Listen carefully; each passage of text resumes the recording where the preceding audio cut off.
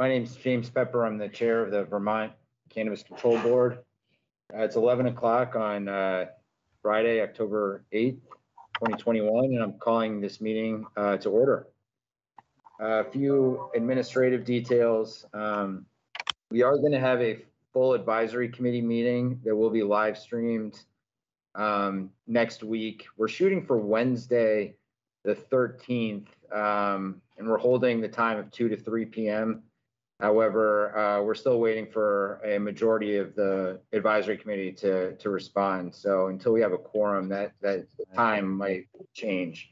This is what I'm, Um, However, the physical Starting. location right now, it starts at 11 o'clock. um, will be uh, 89 Main Street in Montpelier. And, um, you know, there will be a stream um, available for members of the public. There's no advisory subcommittee meetings uh, this Monday um, in recognition of Indigenous Peoples' Day. Um, I think the Social Equity um, Subcommittee will meet on Tuesday, though, and Thursday. Um, just a quick plug on Thursday next week, the 14th, Vermont PBS will be screening a Nova documentary um, called The Cannabis Question. And following that screening, um, there'll be a Q&A panel featuring me, Dr. Levine, the Commissioner of Health, and uh, Representative Maxine Grad, who's the chair of the House Judiciary Committee. Um, the screening will start at 7:30.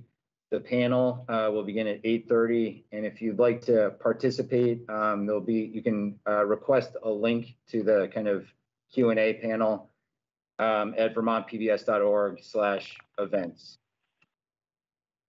So, uh, only other thing before we turn to the agenda, we have to approve the minutes from September 24th, 2021, and October 1st, 2021. Julie and Kyle, have you had an opportunity to review those?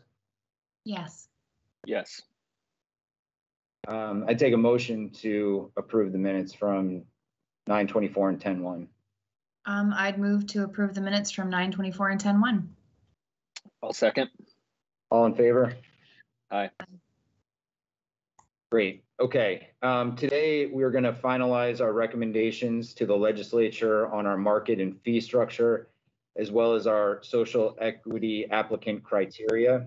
Um, it didn't actually make it onto our agenda, but before we turn to that, I'd like to uh, go around and do a very quick uh, recap of this week's advisory subcommittee meetings. And um, I will start um, the medical program, um, the market structure pro, uh, subcommittee has, uh, adjourned, um, indefinitely. So medical, um, there was conversation around the dispensaries maintaining minimum supplies of flower and biomass, a three-month supply for all Vermont patients at all times, just to ensure during this transition, particularly uh, as we transition to adult rec, that patients will not be, um, uh, they'll have continuity of services and products. Um, we also reviewed um, recommendations about reconstituting the marijuana for symptom, symptom relief oversight committee. Um, and then we also just reviewed all of the recommendations that that subcommittee has made to date. Um, there was some conversation about the wording of some of them, so they're going to meet again next week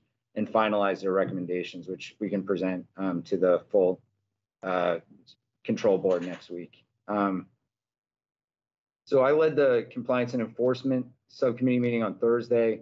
The topic of conversation was outdoor security, specifically fencing um, and other security measures that might be able to take the place of fencing.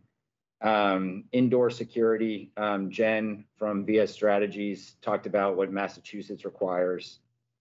And that was about it. You know, there's a lot of good discussion, but no, no real kind of conclusions were made. Um, Kyle, I'll turn it over to you uh, for compliance and enforcement and sustainability. Yeah, thank you, Mr. Chairman. I, will say that the conversation yesterday, thank you again for, for filling in for me and, and leading that discussion. It, it really was a continuation of, um, of our conversation on Monday. So nothing really new to report, just trying to understand where folks are um, on a sub, from a subcommittee perspective and how other jurisdictions have approached um, outdoor, indoor, and um, we're starting to scratch the surface of retail security as well.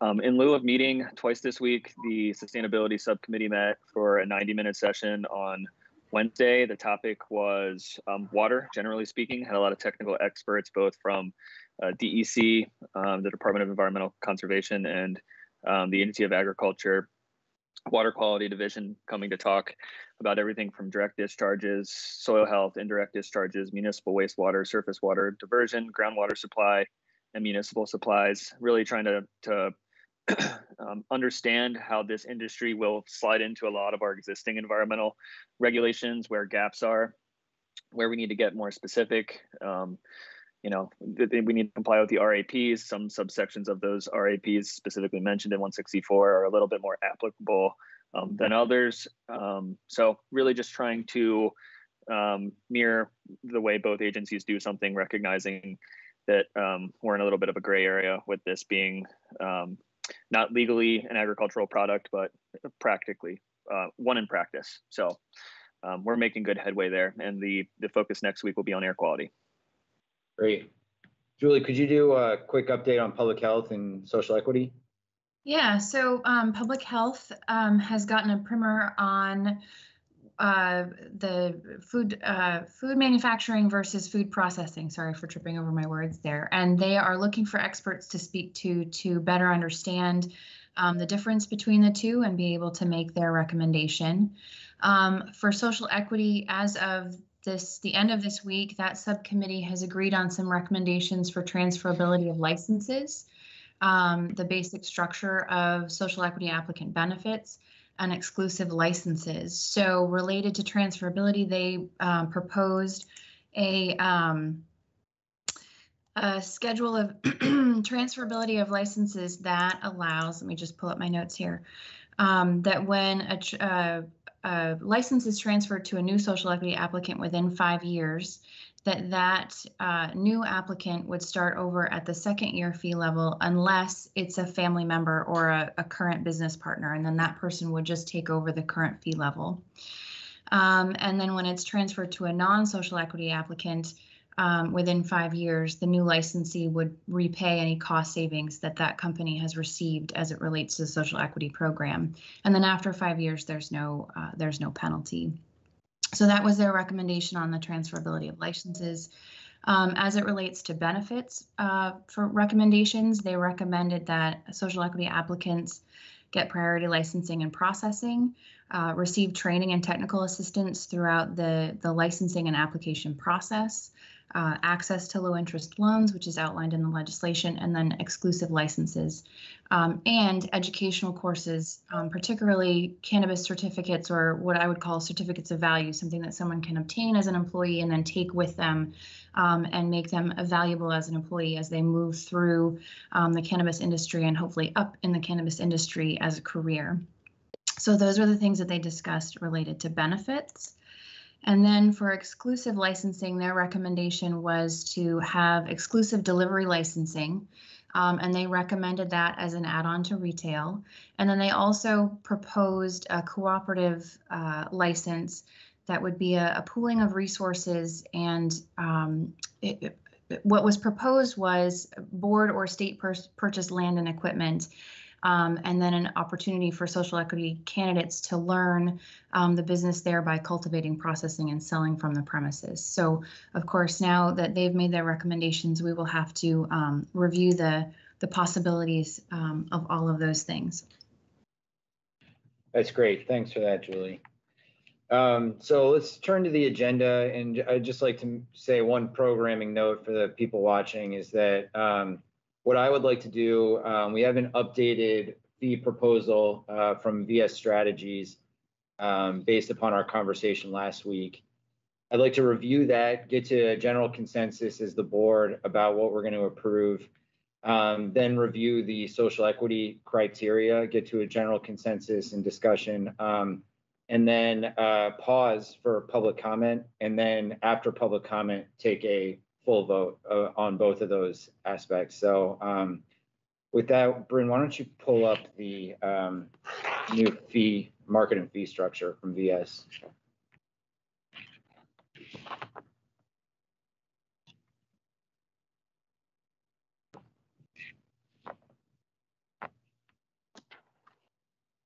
Yeah. I'll do it for you.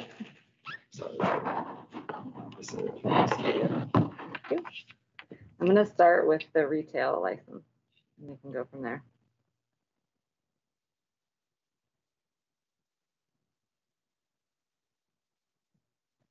So, um, perfect. What do you want to walk through? Sure. So, um, as the market structure subcommittee laid out, there's two proposals here, proposal A and proposal B.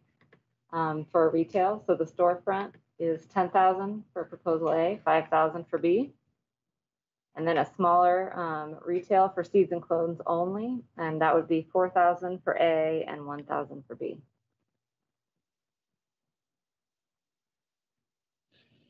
Any discussion of, of that? And the, the reason for the difference in proposal A and proposal B, right, is that proposal B, budget-wise, includes a portion of the excise tax, is that right? That's correct.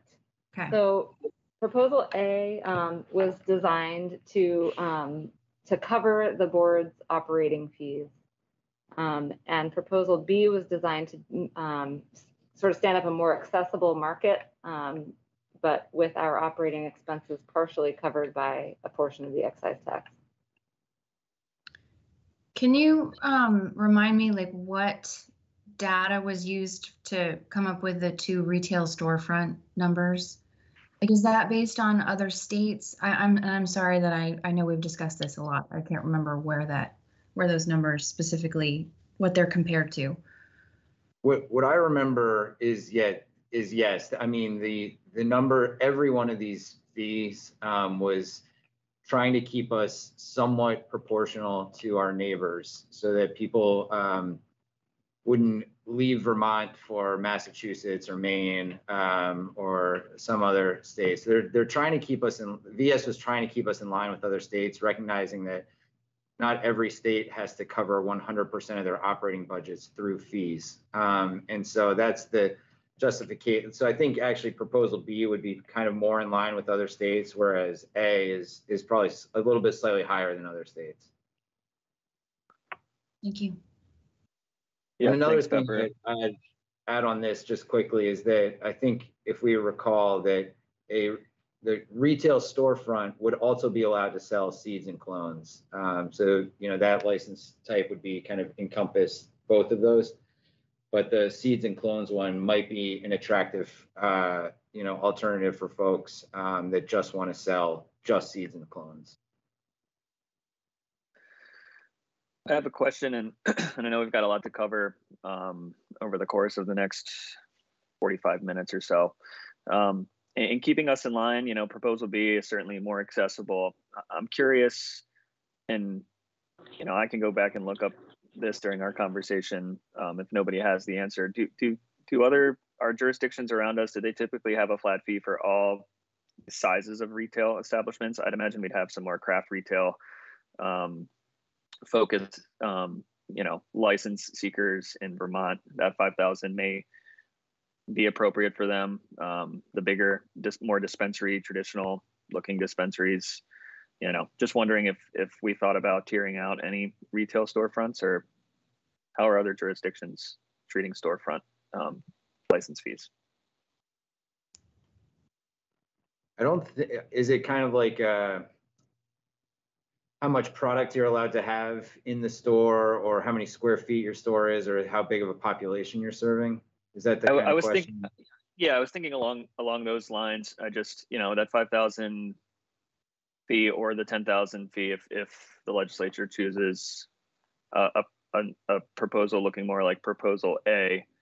Um, I'm just I'm curious that five thousand is just going to mean something different for the larger stores than it would for the smaller ones. Yeah, I mean, I we didn't. I don't know if other states do that. I don't think we got specific testimony from VS on that. But what I would um, what I would say from my discussions is that the cost of a brick and mortar retail store, standalone store, is going to be significantly greater than five thousand dollars. That's going to be. I know there's going to be a lot of other regulatory compliance costs, but that that five thousand or even ten thousand is not going to be the ultimate barrier for folks that are thinking about retail. And so while you could increase the retail fee for larger facilities, um, you know, I don't think that we need to, um, lower it any more than that for smaller facilities. And we are going to allow, of course, potential, you know, fee reductions, um, for social equity applicants and potentially for kind of, um, other folks that, that need a sliding scale. That all makes sense. Just, just making sure we were um, all traveling the same direction. So is there general agreement about this? Do you think we can move on to product manufacturing? Yes. Yes.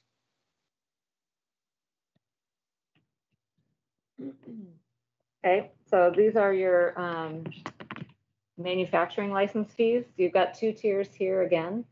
If you remember, um, tier one would be that uh, broader authority to um, conduct extractions, and tier two um, would not have the authority to do extractions.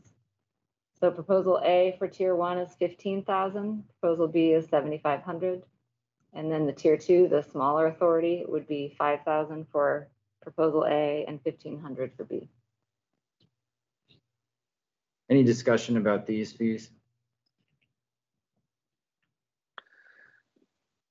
Nothing substantively. I I think recognizing fire and safety implications makes sense for, for tiering these out. And again, um, accessibility to all folks that, that want to seek this license is something that's important, I think, to me and to the, to the board. So recognizing that certain numbers are more in line with our neighbor states is, is good.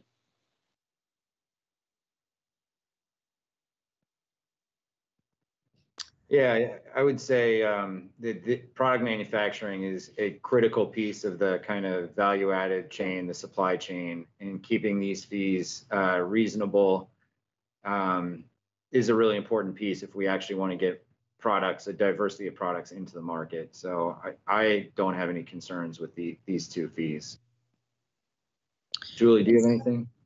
yeah, is our overall goal with our initial um, recommendation of licensing fees to keep the structure fairly simple, um, you know, and not tier out, you know, and have, uh, you know, too much variety in it? Is that part of our, is that part of your thinking, Chair Pepper? I think so. I mean, essentially, um, having clear delineations between what these tiers mean so that, you know, one tier doesn't cannibalize another, I think is an important piece of this. Um, and so again, the, the distinction here is there's an increased public safety risk, increased compliance and enforcement responsibility for solvent-based extractions, and that justifies the higher fee. And then the things that don't really implicate that public safety and compliance requirement, um, you know, if you're making edibles, uh, for instance, um, you could get that tier two and it'd be pretty clear what the distinction is. Okay. Is there a general consensus on this, on this uh, fee and structure? Yes. Okay. Can we go down to the kind of integrated wholesaler and testing?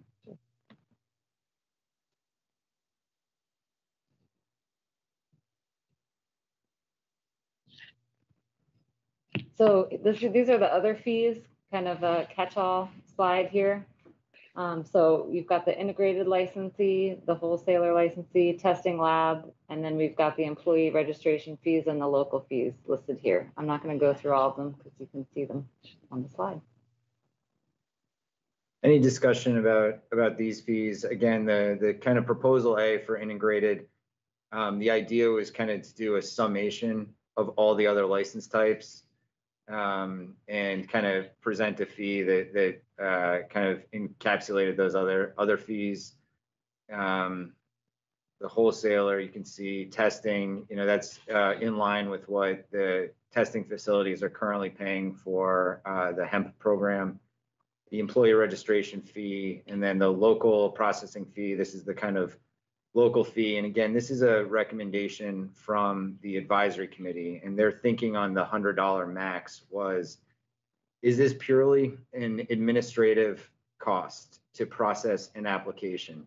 If so, then hundred dollars seems reasonable to kind of review an application and either approve or deny it. If there's something more um, that this fee is supposed to address um, or to pay for, then um, we, they as a subcommittee and we as a board need to hear what those numbers are, what those, what those expenses are, so that we can justify this fee to the legislature, because that's ultimately who's going to decide whether this is hundred dollars or more. But, you know, based on statute, we need to say what this is going to pay for. And, um, and I think we've had a little bit, you know, we've had to move very quickly because of this deadline. Um, but I haven't, we, I haven't personally heard the justification. And I think, you know, what, I've heard some of our other advisory committee members say that, well, there might be some increased patrols um, from the police if they have to kind of go to a cultivation site that wasn't on their routine patrol, um, or if there's a theft and they have to respond. Um, but at this point, I just have not heard um, how much that increased patrol or uh, even a police response call costs. So um, I don't have a problem leaving it this, leaving our recommendation at 100. Um, you know, maybe there's some wiggle room there, but um, I think until we hear what those additional costs are, um, we have to treat this as a purely administrative fee. Um, can I ask a question about the employee registration fee? Is, Sure. is, my assumption is that that is, the hundred dollars is what it actually costs to do that process, that there's no additional, um, you know, benefit to the board or to our budget. It- We're, this is really just a pro, like, this is the, the labor cost, the cost of producing the card, the cost of producing the background check that goes along with this. Is that hundred dollars what the cost of that uh, employee registration fee is?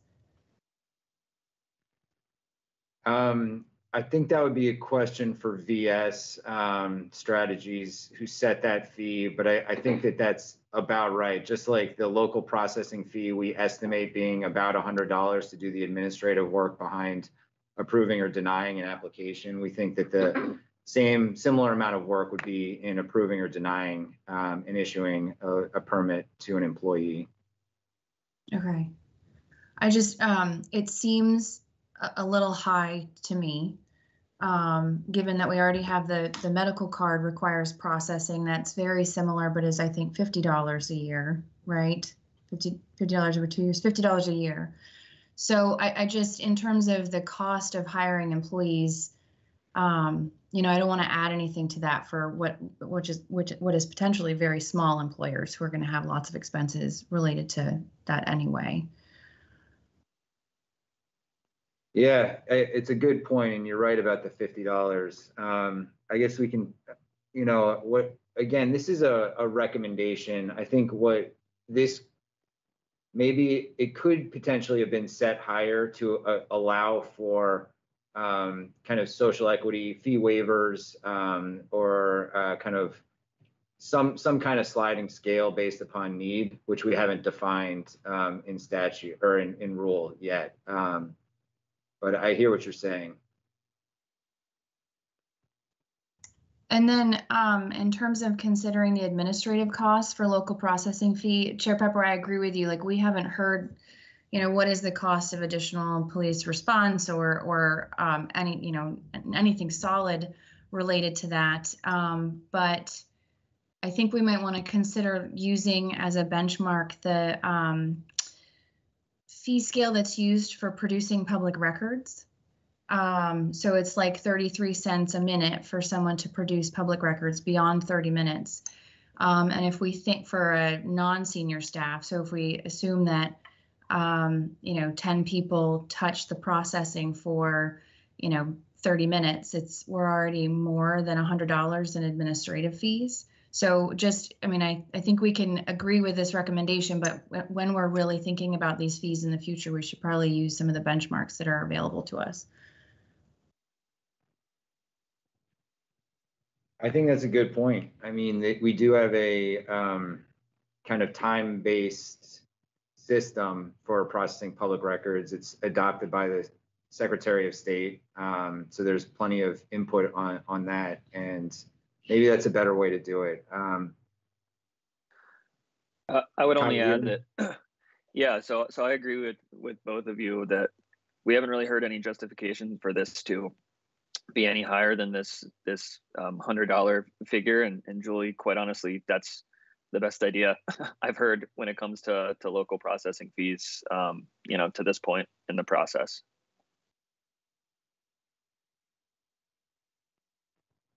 Well, um, again, this is a recommendation that, um, we need to, um, have a justification for when we, when we submit it to the legislature. We have to say this is reasonable because of this. Um, I'm fine with saying, uh, follow, and we could, uh, follow the fee schedule that's in the public records law, um, or leaving it hundred dollars and knowing that the League of Cities and Towns or individual um, municipalities could come to the legislature and say, no, this is our actual cost. I'm, I'm fine with either approach.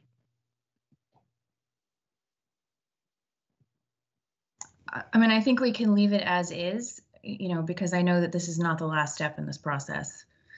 Okay. Kyle?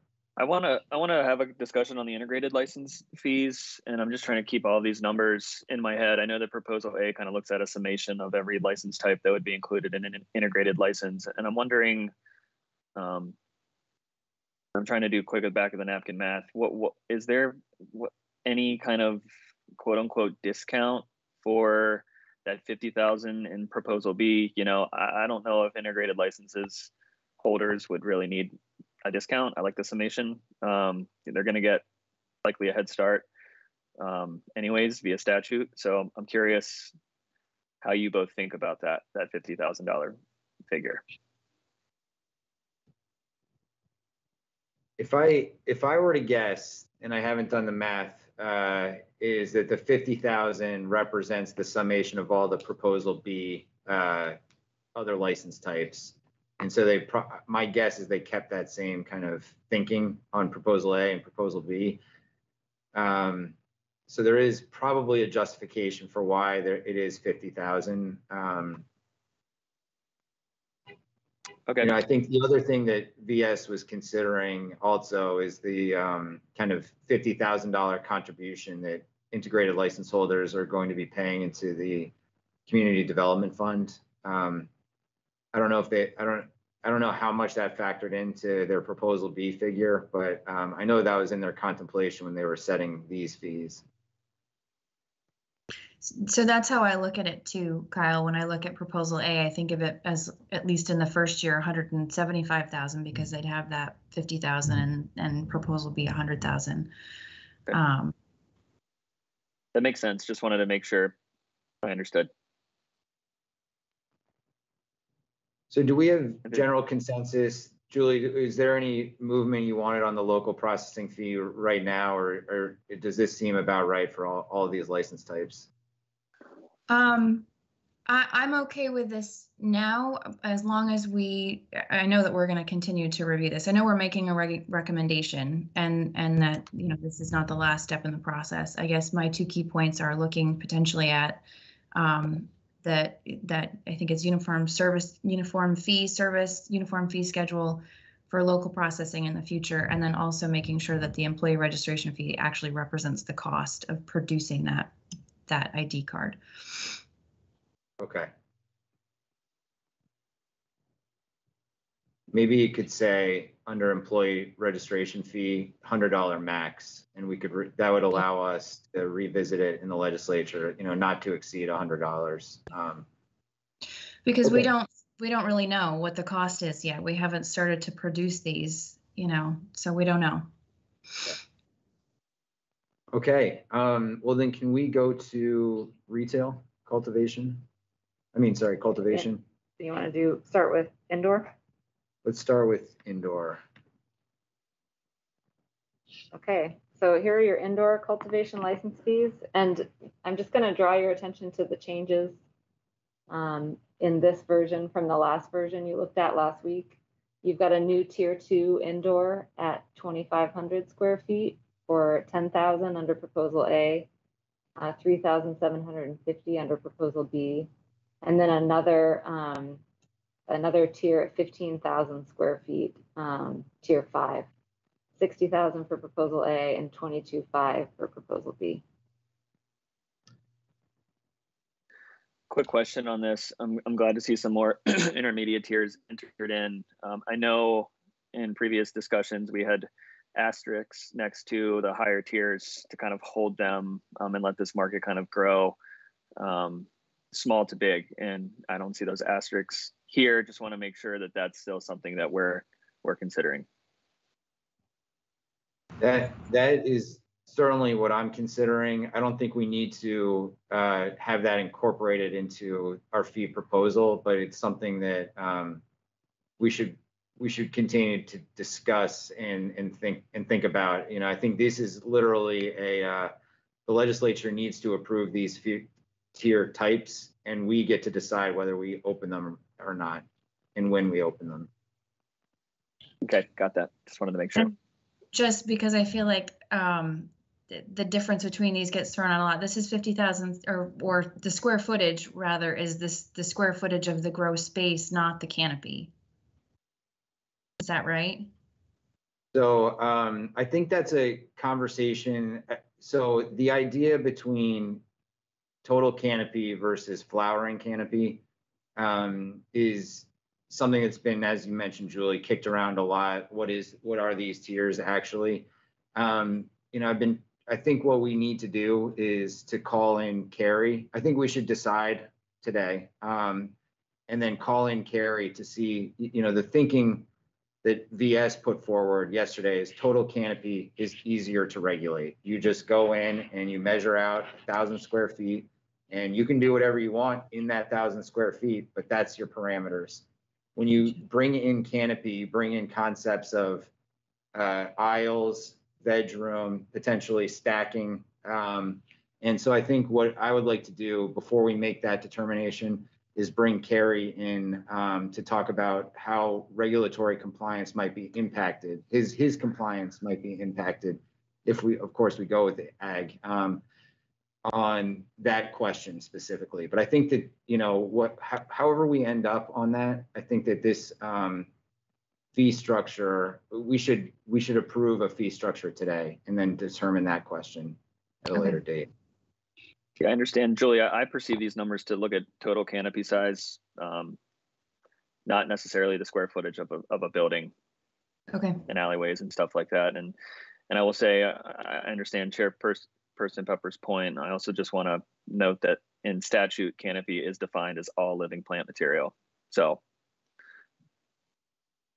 Um, how would you all feel about eliminating the fifty thousand square foot tier? I don't think that. I, I just don't think that that's the right size for Vermont, especially uh, in year one. I would be more comfortable with this proposal if we did that. Yeah, again, I'd be I'd be comfortable with that. I think it's it's you know I, I know the work of the subcommittee. They tried to anticipate stuff to give us a recommendation, no matter what we decide to do as a board, um, without having to revisit this. I'm very comfortable with eliminating tier seven. Um, that was why I asked about the the asterisk or the holding off on certain tiers, um, at least initially. But if but if we feel comfortable eliminating tier seven, and if we you know decide that that's a direction that the that this market needs to move at some point in the future, we can we can be flexible and do so. I'd be more than comfortable eliminating tier seven. Great. Okay, so then there's general consensus around this tiering structure and this corresponding fee structure for indoor with the, uh, in eliminating tier seven. Yes. Yes. Great. We do outdoor. Yep. So this is also a slide that's gonna look a little different. This is your outdoor license fees and a new mixed cultivation license fee. So the changes, uh, here, you'll see our tier two, you've added an intermediate tier um, for twenty-five hundred square feet, um, which would cost twenty-five hundred dollars under proposal A and 1,875 under proposal B. You've also got two um, new tiers, five and six, at twenty thousand square feet and thirty thousand square feet.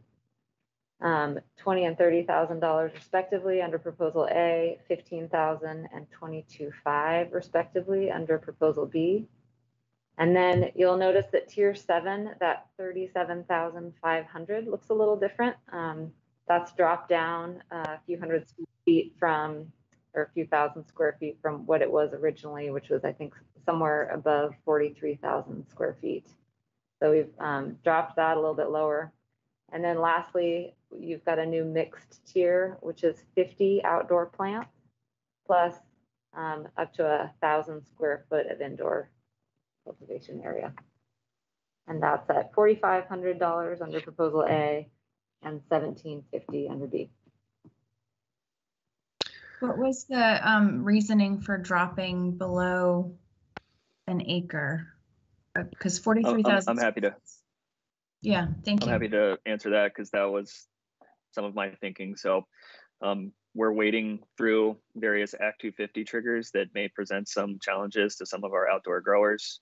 Um, we're having those conversations. There is some, I've, I've been talking with folks, folks um, in the legal community, folks in the looking to advise or, or seek licenses, and also folks at the NRB. Um, up to an acre could in one acre towns right now, there is recent um, Vermont Supreme Court opinion that that looks at one acre towns and projects up to an acre um, wouldn't trigger Act 250. And I thought that was some of the initial reasoning for going with that acre number. And the more I thought about it and, and talked and engaged with folks, uh, Act 250 looks at the total acreage of your project. So roads, parking lots, so on and so forth. They're not going to look strictly at the total canopy size. They're going to look at alleys between rows, so on and so forth. So I didn't want folks to unintendedly trigger Act 250 because they were growing up to an acre, but needed a couple extra thousand square feet um, to just do the day-to-day stuff in and around the grow space. So um, my reasoning um, was simply that. So if we lowered it a little bit, folks would still have up to potentially an acre of impacted physically changed space within their cultivation site. Um, and again, just didn't want folks to accidentally wander into 250 waters. Thank you, that's helpful. So um, I'm I'm very comfortable with that. Um, I I would like to potentially just eliminate tier six. I feel like the the jump between 30,000 and 37,500 is uh, I just, I just don't think that that's necessary. Um, and we have seven, we have six tiers in the other one now. Um, and so just for a little bit of parity, I don't know if that, I just, I just don't, I don't think that there's going to be a major change between uh, the 30,000 and 3,700 or 3,000, 37,000. So I'm happy I'm to okay with that. Yeah, this is up to, right? So if you, you could grow between 20,000 and 37,000. Right. Right, okay. Yes, I'm fine with that. I have a question. you know, I like. Yeah. Oh, go ahead. Go ahead. No, I was just going to talk about the mixed tier. Um, uh, I, Go the for thing it. that I, I was thinking is that this could potentially be a tier of small cultivator. Um, and so we know some of the, you know, benefits and priorities that have been given to small cultivators. This could be a small craft cultivator potentially licensed. And, um, you know, I saw, so you have the thousand square foot indoor, and then you have an outdoor plant allotment. And I, the thinking there is, you know, edibles, distillates, um, concentrates, they don't really require the like fine indoor grown uh, flower. Um, you know, so allow kind of a, a, small cultivator to do their indoor grow and then allow them an outdoor plant count um, to, you know, push towards the kind of edibles, um, et cetera. And uh, with the 50 plants um, instead of a square footage, you know, that's just recognizing that it's a little bit easier to regulate or to comply with. Um, you know, I, I, talked a little bit to Kerry about this, and, and he thought just 50 plants, you know, it allows you to kind of have a oddly shaped plot if that's what your backyard looks like. Um, And, uh, you know, it's just an easy number to count to, and you don't have to worry about how big these things get. There's a lot of variation between how a plant, how different strains of plants um, and different cultivation practices might look. Uh, you just don't want to have to kind of go out, measure a plot, and then have a plant grow bigger and exceed that kind of cultivation area. Just, you know, plant count sim- simple. Mhm. I think that makes sense. I wanted to ask a question, and it's kind of like the the I like that mixed tier. Um, I like that a lot. Yeah, I, I had a I had a question. and It's kind of like the inverse of the way this mixed tier is is functioning, and and not necessarily on the the the plant count harvesting indoor and outdoor conversation, but and I'm thinking my question could be addressed through regulation and further public comment. I just want to talk about it here in case we need to add in something if if the idea is salient. Um, I want to make sure folks in the the especially the smaller outdoor um, tiers can preserve their genetics in the colder winter months. Um, so being able to bring certain plants indoors. Um, I don't necessarily have a fully fleshed out thought of if they would be able to harvest indoors. Um, again, I think this is something we could we could pursue through reg- regulation, not right now, unless we think there needs to be a, another fee associated with, you know, a small cottage style, 500 square foot indoor um, part of your outdoor license that would that would just allow folks to some security over the winter months. Yeah, I think that it actually probably would be just something we could clarify in regulations. I remember Jacob saying in your regs, you got to build in some flexibility for the cold snap that, you know, is coming and then you can bring them inside. Um, and I know it impacts kind of seed to sale tracking and, and a few other implications, but I, I do think that that's something we can make a rule around as opposed to adding a, a license type. Okay. I, I agree. Just wanted to, to raise it here in case it was more appropriate to do so. All right, so is there, if we eliminate tier six, um, is there a general agreement about this? Yes. Yes.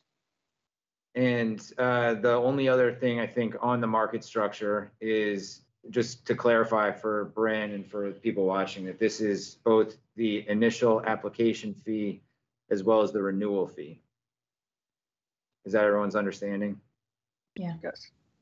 Okay. Same here. Um, okay, is there anything else on market structure? Great. Okay, let's move to Um, social equity. I'm sorry, I Oh, have one question though. Are we holding on the farmer retailer and the co-located? Are we pausing on that for now? I think so. I mean, essentially, the way that I see that is they're currently prohibited. And um, if we need them to be a, a type of license, we'll need to get authorization from the legislature and they can authorize a fee at the same time. Okay.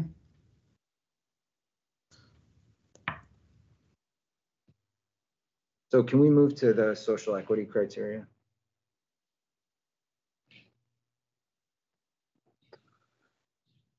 So this is the, um, well, go ahead, Ben. That's that's all right. So this is, this slide is gonna look really familiar to you. This is um, the slide that our consultant NACB put together um, to define what a social equity candidate is. Um, And again, this is a requirement of our October 15th report to the legislature. So it's a recommendation of um, the kind of applicant that will, um, that will qualify for certain benefits that we um, provide in our regulations.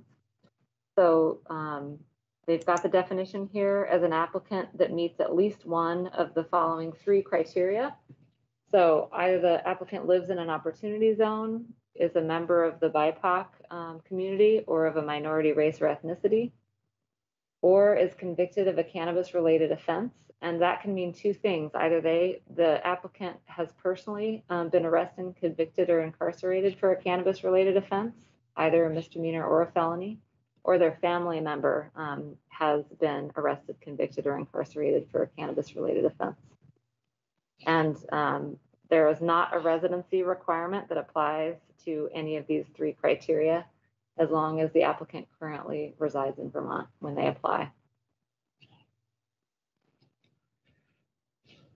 Um, I just, uh, would like to make a few comments initially, if you don't mind. Um, so we have to, I've been going back and forth about opportunity zones or any other social socioeconomic criteria for social equity applicant. And essentially where I landed was that uh, I went back to Act 62, which defines social equity, and it says there's two criteria that we need to capture. One is individuals from communities that have been historically or that historically have been disproportionately impacted by cannabis prohibition or individuals directly and personally impacted by cannabis prohibition.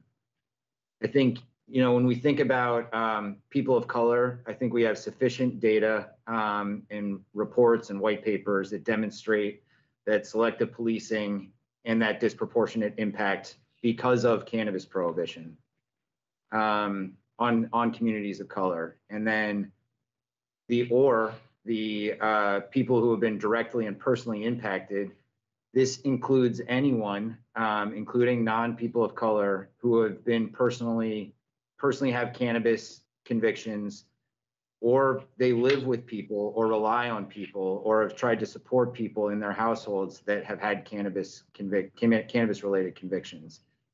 And while I've been a fan and proponent of having separate criteria for low income Vermonters. Um, I don't think that there that that is actually what was intended by Act 62. Um, you know, I think when I saw this bill being voted, I think a lot of the representatives that vote and people that voted on it thought this could be an economic development tool for um, the people that are struggling um, in their communities. Um, and you know, as a former prosecutor, also, I've seen how the criminal justice system really entrenches poverty. Um, you know, I think roughly 95% of the people um, who are arraigned um, are eligible for public defender services, meaning that they're, you know, within 125% of the federal poverty line. Um, so there's a lot of intersectionality between poverty and race and disproportionate impact um, in our criminal justice system. Um, but I don't think that it meets the Act 62 criteria that's been laid out for us um, that aren't already captured in those number two and number three. Um, and you know, from our conversations, Julie and Kyle, I know that we are all committed to supporting Vermonters who are struggling. And I think that there are ways to do that, that we have the authority to do. Um, certainly, we're going to make regulatory accommodations for small cultivators. We can, of course, um, you know, have sliding scales for um, sliding fee scales for people that can demonstrate harm um, or demonstrate need. Um, and we can provide technical assistance and support throughout the application process and the renewal process. But I don't think that um, just purely socioeconomic criteria would achieve um, kind of the social equity definition that's been given to us. Um, so that's that's where I am on kind of removing opportunity zones and um, and not having anything other than kind of either being a person of color or having a cannabis related offense or, or a family household member with a, or being part of an impacted family. So I've um, also put a lot of thought into this in the last week um, about opportunity zone, and I, I, I think that um, this criteria is largely taken from H414, which was proposed last year, and I I think that the the opportunity zone language was originally intended actually more about community reinvestment and disproportionately impacted areas. Um, and it was opportunity zone and several other criteria um, in H414. I, have gone back and forth about whether opportunity zone is a right is the right um, you know criteria or using something that's along the lines of the federal free lunch and reduced lunch program uh, income criteria I think I'm comfortable taking out um, that first criteria and not having an income related criteria. So long as we have as you were talking about before chair pepper about um, you know some sort of sliding scale for uh, based on income for the the fees um, to still allow you know economic opportunity for people who are struggling. I think you're right that that um, you know poverty is certainly entrenched in our our our um, our judicial system and Um, I think there is overlap, and I'm fine with taking out that first one as long as we have some other criteria that we can allow more people into the market. Yeah, Kyle, do you have any thoughts on, on that? Yeah, thank you for your thank you both for your comments and your overview. Um, I agree with with everything that's been said, and I think you know if, if we're thinking about these three criterias and they're all ors, not ands, um, the opportunity zones, it, feels like there's there's the most room there for folks to kind of take advantage in the wrong way of of what we're trying to accomplish. So um, recognizing your both of your comments, I'm I'm in support of of what you're thinking. So what I would say then, if we're in general agreement, is that um, this, again, is the starting point of this conversation. We as a board need to meet a statutorily imposed deadline, which means that we needed to come up with something. The advisory committee um, has been incredibly helpful. Our consultants have been incredibly helpful in showing us where we can go. This is you know, criteria two um, is actually pushing a boundary that few states have ever done before. Um, um, it's an important one, um, but I I feel that um, this is kind of the starting line on this, and that we really need to take this uh, and have a plan for intensive public engagement on on these criteria because um, there are a lot of folks um, out there that don't know what we're doing. They don't know that we're having meetings around this and need their voices to be part of the, this conversation.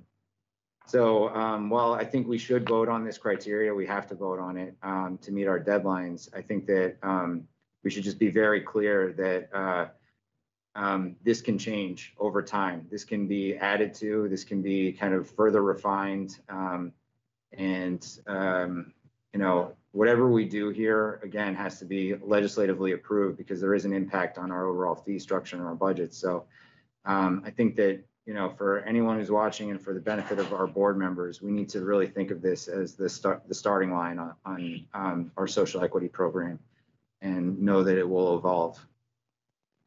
Yeah, absolutely agree. I was gonna I was gonna say something similar. You know, a lot of work has been put into this, but we're still just scratching the surface of what we need to do. And I look forward to engaging with with all interested folks in and, in and around the state and, and the the nation. Um, those interested on understanding and unpacking what this definition will mean. Agreed. So um, it's 1152, I think, I think we have general consensus on the market structure um, and the social equity criteria. Before we take a vote, I would like to open to public comment. Um, and so, Bryn, in the meantime, can you kind of incorporate our notes into a final draft that we can look at? Yep. Um, okay, but if you have a public comment, um, please feel free to raise your virtual hand and we'll call you in the order that the hands go up. Uh, First, we have Paul Shannon. Paul, if you want to unmute yourself and provide a public comment. Yeah, I have. Um, as one who's genuinely skeptical of government, I'd like to say thank you to all the participants. I think the way you're handling this is spot on. Uh, I'm not up to date on what uh, the other states' laws are, and I'm very grateful that you take them into consideration. Uh, the fee structure, believe it or not, sounds fair. Um, it, it, it doesn't seem crippling in any way. And if somebody really wants to get into this, you can't open a store without having the dough. Uh, my gratitude is boundless uh, for you folks. To, I think you're putting this together the right way. Uh, and uh, I live in one of those probably opportunity zones, and I don't mind that going out the window. Um, the reason being is I agree with Kyle that it would be one of those places a lot of people would squeeze into and attempt to take advantage of. Um, at 66, I'm old enough to have seen just about every program the government runs get taken advantage of. Uh, and you people seem to be running this the right way. Um, I uh, would like um, at some future point to be able to ask some questions regarding co-ops, but uh, I'll save that for another time as this is for public comment. And my most sincere thank you. You folks seem to be working your tails off and I'm very grateful. Thank you.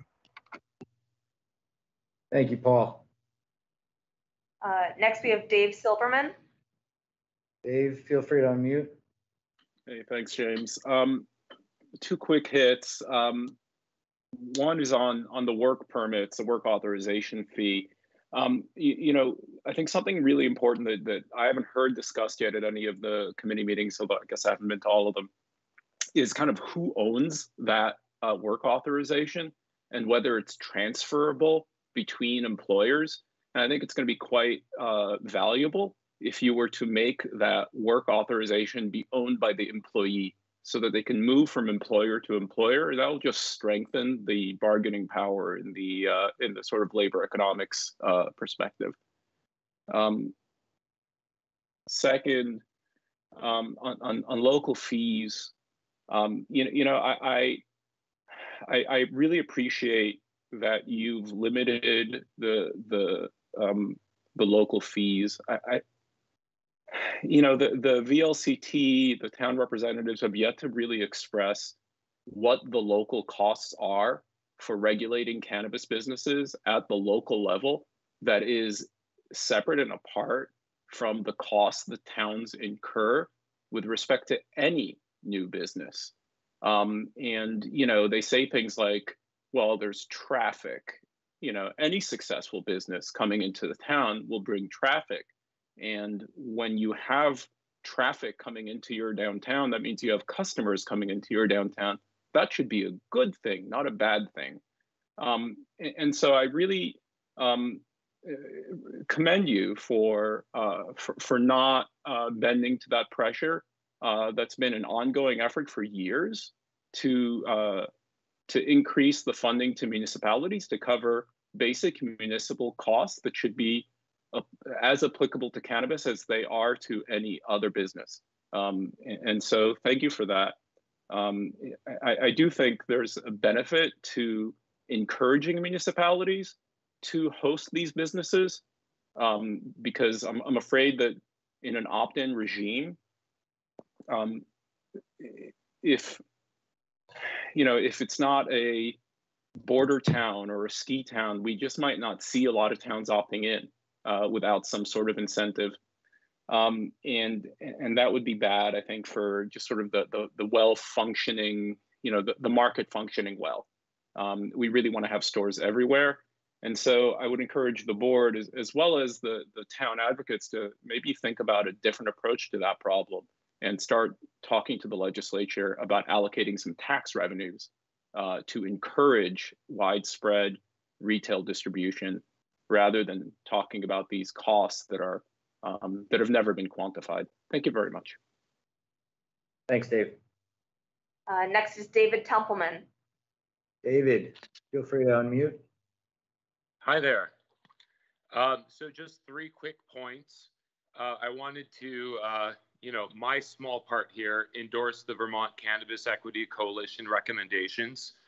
Um, I want to reemphasize that uh, flower, outdoor flower is a possibility. Not all outdoor cultivation is going to be for extract and other purposes. Uh, outdoor flower is actually something that's possible in Vermont, albeit there are uh, obstacles, but it's not completely cut off. It's not like you can't grow outdoor high high end outdoor flower in Vermont. Um, and then regarding the social equity uh, chart that was just put up in the three points, I noticed that uh, farmers or small farmers are no longer on that. And I'm wondering, have they been sort of grouped together in the opportunity zone uh, concept or, you know, what, where did that go? Uh, that's all for now. Thank you. Thanks, David. Uh, next is Junior. Junior, feel free to uh, unmute yourself. All right. Hey, thanks, folks. Um, two quick questions, comments. One, I'm curious why the indoor licensing is so much more expensive than the outdoor licensing when the costs to build out an indoor facility is so much higher than outdoor. So that's just one thought that I had.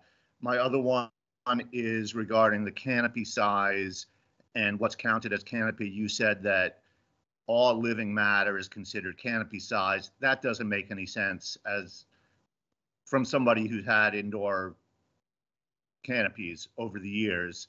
Um, the flowering room, the flowering canopy is what makes sense. How much space you use for mothers and cloning and your nursery room really has nothing to do with how much product you're producing. All that really matters is the canopy size of the flowering room itself. So thanks a lot. Keep up the good work and look forward to what happens next. Thank you. Next is Tito Byrne.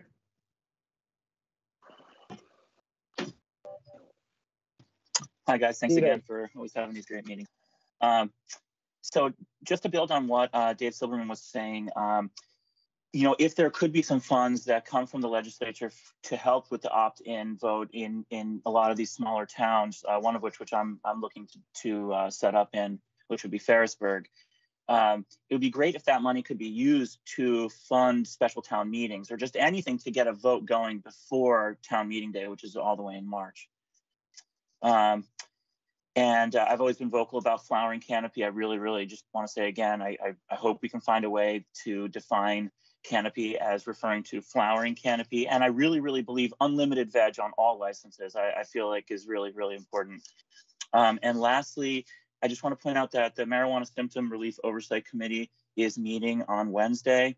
And so um, when you're planning the, um, the gathering of the full advisory board, if you could just keep that in mind so that the two don't overlap. Thank you. Thank you, Tito. Next is Bill. Bill, would you like to make a comment? Hey, yes, thank you for all your hard work. Um, I want quickly want to echo the previous comment um, about the canopy size and, and definition, and then um, from also from from Dave earlier, um, and, and I'm speaking as someone who is well positioned near a ski town with legitimate businesses and all of the uh, resources and business experience that come with that. Um, I, I think from what I've understood from your previous meetings, the goal is to bring as many growers into the light as possible. And if you end up with a large percentage of towns that opt out or fail to opt in, um, my concern is that you end up with an extremely unlevel playing ground um, where you have people who do not have all the expenses of uh, the, the new legal market that they have to contend with. And I fear that you will end up with um, a lot of things either uh, growers opting not to pursue a, a, license or people that do pursue, pursue a license, you know, sending things out the back door. And, um, you know, even even for us who who feel privileged as as you know someone that, that has a, a more professional setup and operation and not in an opportunity zone, that that's a real question mark that I think will be on a lot of people's minds. So um, I just wanted to stress that point. But thanks again for all your work and for making these meetings public. Thank you. All right, uh, next we've got Jeffrey. Jeffrey, feel free to unmute. Thank you. Can you hear me okay? Yes. Good afternoon, everybody. Um, so I appreciate uh, your work on the modifications to the uh, licensing um, that we just saw, um, and your um, your desire to thread the needle for outdoor cultivators and their ability to winter over plants. Um, I will just add that the uh, redefinition of the canopy to flower only uh, helps bring simplification to that whole quagmire right there. So there are several reasons to be uh, approaching the canopy size as flower only. One of them is for simplistic purposes and for accessibility for the cultivator. So please consider that when you guys are thinking about canopy. Uh, you that will uh, prevent those sorts of um, additional tiers that that are needed to kind of thread that needle. Um, I also want to say, second point, um, with regards to the uh, fee for the integrated license type, and again, I appreciate you guys bringing this up. Uh, I would urge you, uh, the board, that um, that fee should not be any less expensive uh, than any other fee for Vermonters. So in other words, the integrated license type should be the most expensive uh, license out there. Um, please keep that in mind. Thank you. Thanks, Jeffrey. Anyone else? Um, we have one person who's raised their hand again. Um, do we have time to loop back or should we, do- should check phones first? Uh, so, um, Paul, I think if you've raised your hand again, we're on a little bit of a tight schedule here. If you'd like to, um, you know, we do have a public input forum on our website. Um, and, you know, we all, the, all of those go to all of the board members, and so we will listen. Um, uh, if, has anyone joined by the phone? We have three folks on the phone. Okay, if, uh, if you've joined via the phone, you can, and would like to make a public comment, please hit star six to unmute yourself.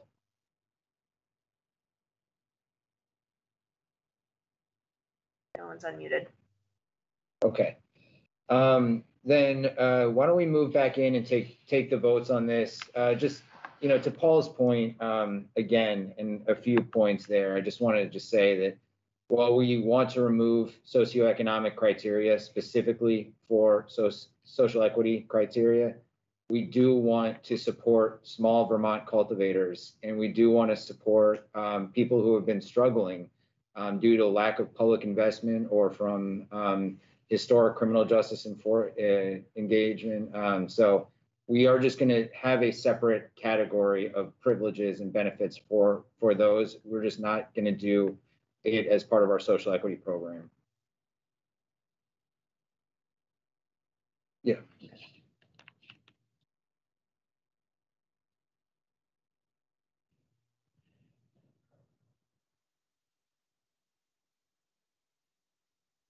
Okay, so we're just gonna pop back through these and I'll just um, highlight where you should see the changes here. So this is in our outdoor and mixed cultivation license fee slide, um, and you've removed that thirty thousand square foot outdoor tier. So now you've got six um, wholly outdoor tiers and then one mixed tier. Any discussion on this? Okay. Okay, and now we've got the indoor, and you also removed a tier here, the last tier, which is the fifty thousand square foot indoor cultivation area. So now you've got um, six indoor tiers as well as six outdoor. Great. Okay.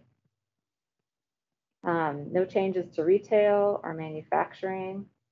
And then in the other fees slide, we've just uh, put a cap on that employee registration fee at hundred dollars. Okay. So this looks good to me. You know, considering we're already giving the legislature a menu of options, do we want to maybe have one more option under the local processing fee of follow the uniform fee schedule um, that's in, I don't have the cross site right now, but Julie, Kyle, is that kind of one last tweak to that that we would want to see? Yes, the more that after we moved away from the slide, the more I thought about it as we were talking. Yes, I'd like to see that as another option. Is that all right, Bryn? Sure. Okay. Do you want to see that before you vote on it, or are No. you comfortable? No, I I understand. I'm comfortable. Great. Okay, I'm going to move on to the last slide then. The social equity applicant slide. So you've removed the first criteria of lives in an opportunity zone. And um, you've also reworded that first criteria. So now it would be a person of color or anybody who can demonstrate that they're from a community that has historically been disproportionately impacted by cannabis prohibition. Second criteria remains unchanged. So that, that seems to me like something I can support. Any discussion? Okay, um, I would take a motion to approve our market structure and fee structure as well as our social equity candidate criteria as presented in this slideshow, however the Can I- motion. Can I say, can I say one thing before we vote, um, Mr. Chairman? Um, while we were just going through this, I tried to do, and I'm not a math guy, so if I got this a little bit wrong, don't, um, hold it against me. I tried to add up the different licenses for an integrated license as we were moving through those slides, and, and that fifty thousand dollar integrated fee for proposal B seemed to be, um, even a, a little bit higher than what adding them all up individually would be, which is, um, in line with what I was thinking earlier. So I'm comfortable. Great. And of course, there are benefits to being vertically integrated, so I think that makes sense to me um, as well. Okay, um, is there a motion? We can do it separately too, if you'd prefer. Market structure, fee structure, and then social equity. I think we can approve this as a package. Okay. Um, I'm not quite sure how to move that, like. So I, Um, um, I moved Can we to, a- call this, can we name Nope. this something? Why don't, you could name it your, um, your October fifteenth report, um, decisions. Okay, Isn't that eloquent? Is- That's better than just saying uh, yes to all of that. Um, the, so I, I move to approve the, um, October fifteenth, twenty twenty-one decisions as presented. I will second. all in favor? Aye. Aye. Aye. Great work on this. Thank you, Bryn. Thank you to all of our advisory committee and everyone who showed up to those meetings and provided us public comment along the way. And again, I would just reiterate that these are recommendations that were kind of put on a very aggressive timeline for us to make. This is very much the beginning of the process. The next step on the market and fee report is to, to have a hearing um, on it in the legislature with our GovOps committees and our Ways and Means and Finance committees um, to really dig into whether or not the legislature is okay with what we've done.